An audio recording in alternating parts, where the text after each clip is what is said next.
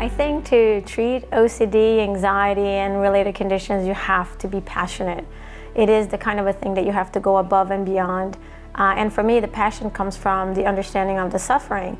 of watching someone struggle with those conditions, you realize how they're stuck, how much they suffer, how much their families suffer. And the nice thing about it is to know that the treatment can actually help them. To me, just sitting with someone and talking about life or helping them with, you know, minor things that they're struggling with does not give me the same feeling as helping someone go from being stuck and struggling to actually regaining life, regaining happiness, and being able to enjoy things that they were unable to enjoy while they were sick.